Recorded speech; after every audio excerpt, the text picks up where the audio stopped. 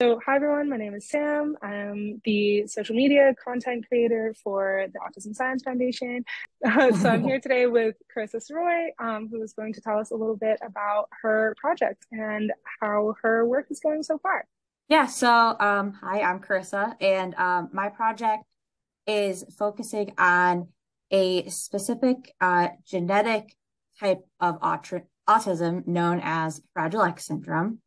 And um, we hope that by studying this one specific type of autism, then we can learn more and maybe apply the methods we're using uh, in our research for other um, types of autism, whether it's genetic or you know an, of an unknown uh, cause, and maybe we will you know overall the goal will be that we can learn about autism in general um, from our study of cells in a dish, and so what we do generically is we are able to take um, blood cells from patients and then uh, turn them into brain cells that we grow in a dish.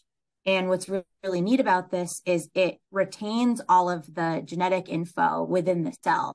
And so it's like we have human brain cells in a dish, but we didn't have to, you know, go and get a brain, which obviously is very difficult to do. Um, and so now we have what are essentially Fragile X syndrome neurons in a dish uh, that have the cause of it. And we have um, collected, with the help of our collaborator, Craig Erickson, um, we've collected actually 17 different cell lines. Um, some of them are just from neurotypical individuals as a comparison group. And then we have two uh, sets of Fragile X patient lines um, they each have a unique pattern of brain activity known as EEG.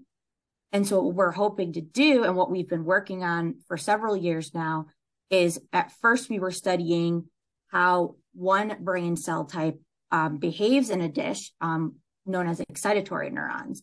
And now, thanks to the Autism Science Foundation's funding, we are now investigating a different type of brain cell known as inhibitory neurons. And this is really important because um, both cell types are extremely important uh, in the brain. And we know that uh, changes in either cell type or how they interact with each other can contribute to changes. And so we want to know do this second cell type, the inhibitory neurons, have differences in the Fragile X syndrome?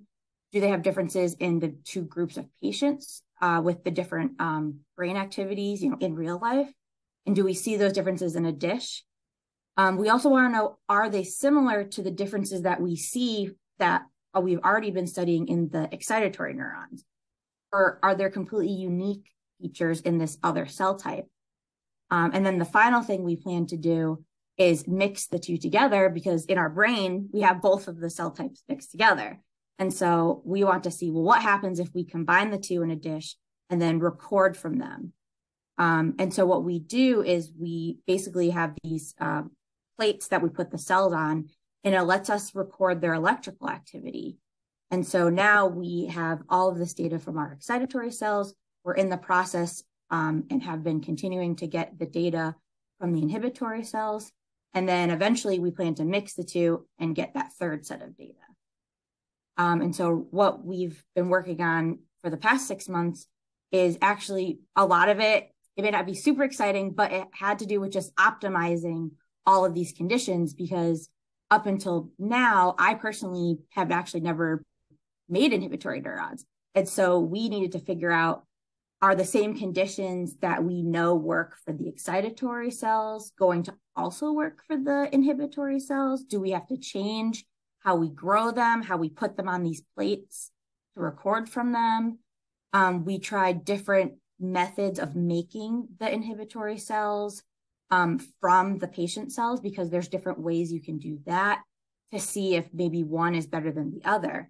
And then finally, um, we also, in the meantime, while optimizing this and making all of these cells from our 17 patients, which takes a long time, um, in the meantime, we've been trying to really use the time wisely and also work on how we do the analysis of this data. Um, because we record uh, basically over the course of two months. So we have eight time points over two months from multiple batches of cells. We're going to have the just pure inhibitory cells. We're going to eventually have the data from the mixed cells. And so we need to um, op- optimize the analysis, one, so it's more efficient. Um, and two, we want to be able to analyze the cells, which are kind of just on a plate at the single cell level. And so we've been working with um, collaborators who specialize in computational neuroscience and engineering, very, very smart people, um, to how can we best analyze the data? And maybe we can actually even see differences between our two different cells and identify them just by looking at our data. So I think that's a very long summary, hopefully. But no, thank you so much. That was actually like very digestible, and that was a really good like technical and also layman's definition summary. And that's not always easy to do. Believe me, I know. I have tried to do the same. So far in your work, have you what has been working, what hasn't been working? Have you noticed any massive differences between these two different types of neuronal groups that you were talking about? So the excitatory and the inhibitory. Yeah. So um, what we've been able to do so far is we tested two different methods of making the inhibitory cells. Um, and so we have kind of narrowed down which one we plan to use, which is great. Um, and so um, in the meantime, though, we did we were able to get some like preliminary data using um, Fragile X and uh, control, sorry, like neurotypical cells. And then also we had a third condition in which we took neurotypical, yes, you know, genetically normal cells, and then we uh, took the gene that is responsible for Fragile X and decreased its levels. And so what we look to see is do those two groups where either they have Fragile X syndrome or this induced version of Fragile X syndrome in a dish versus the neurotypical cells, do they behave differently? And do they behave similarly to those excitatory cells? And so what we can see so far in this, you know, again, smaller set of cells, we're making our other 17 cell lines, is um, there are some similar trends, which is really exciting. Um, so for instance, it's been published uh, in the field and also, you know, we've seen this in our cells that excitatory Fragile X syndrome neurons are very, they have a lot of activity, like much higher. And so when we recorded from the inhibitory cells, we see the same trend. Um, but then when we look at different types of the activity or different like specific parameters about the uh, neurons activity, we do see some differences from what we saw in the excitatory cells. So it seems like there are some, you know, just again, this uh, preliminary part where where we're optimizing our conditions, it seems like there are some common features no matter what the cell type was. And then and there may be some features that are very unique to inhibitory versus excitatory. Um, and those are just when we recorded them, like just pure populations of each.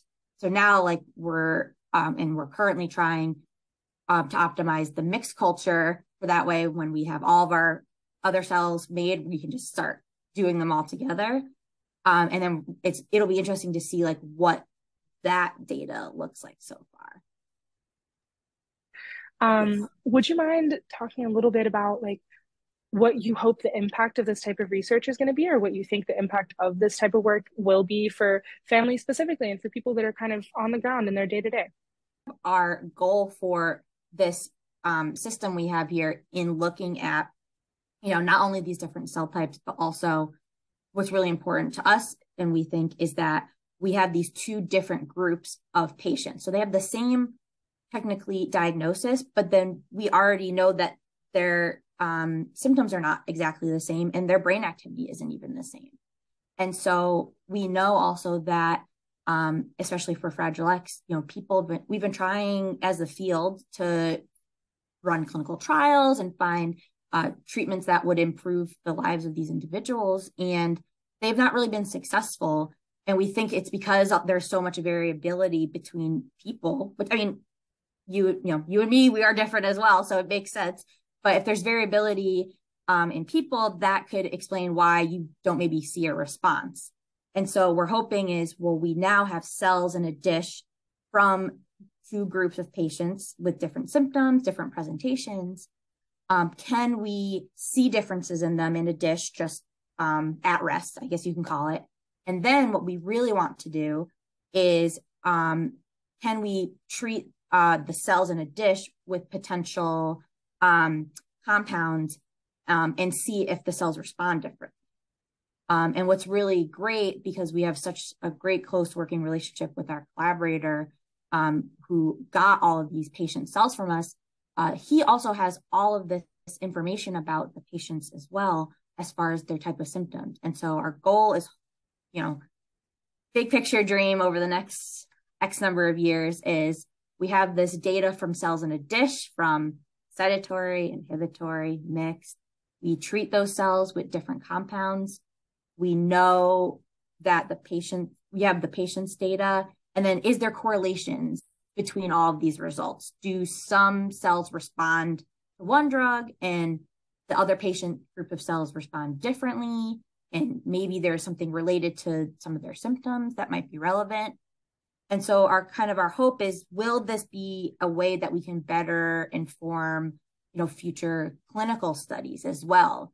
Um, because if you can get a system like this established and you are like, well, we'd love to run a trial on, you know, these compounds, and you say, well, let's see how the cells in a dish react. Okay, the cells from the two groups of patients react the same or differently.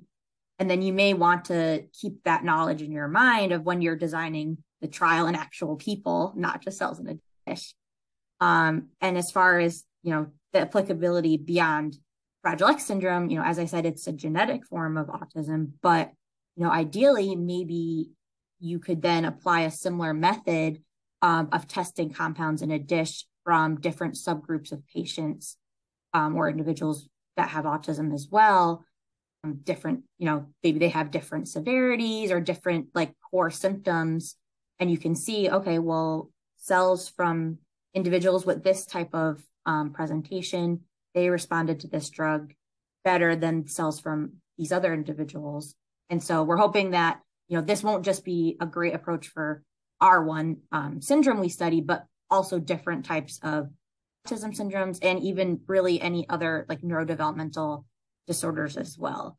So, uh, so that's kind of the big pipe dream picture. Yeah. Of, you know, it sounds amazing and hopefully it'll lead to fruition and be helpful to patients and their families though, because that would, yeah, that's ultimate goal is to improve, you know, people's lives. Uh, would you mind talking a little bit about like what got you into this type of research? What's your connection to this? Uh, sure. So I guess I've always been very interested in psychology um, just based on uh, experiences I had uh, growing up. And so I had been diagnosed with several, uh, you know, psychiatric, neuropsychiatric things in high school. And so that really made me actually like very interested. I'm like, well, what's going on in my brain? Like, I want to know this. And so um, I just got very interested in psychology in general. And so I decided when I went to college, I wanted to be uh, in psychology. And initially, I thought I wanted to actually be more of like a psychologist in the traditional sense, like interfacing with patients. And then I realized that I think I'm more better suited to behind the scenes work. Uh, and so I got really interested in research and just researching these different, um, you know, syndromes and develop all like that are based in development. And so um, as a result, I really like focused on, you know, neuroscience. And then um, when I went to grad school, um, I worked in a lab that studied a different neurodevelopmental disorder called Angelman syndrome, um, where we also uh, used stem cells to model that. And so basically like the first moment I heard you could make brain cells from people's like skin or blood, like my mind was blown. And I was like, okay, that like I want to do right. I was I was like, why is no one else freaking out? Like, how do you not think this is the coolest thing in the world?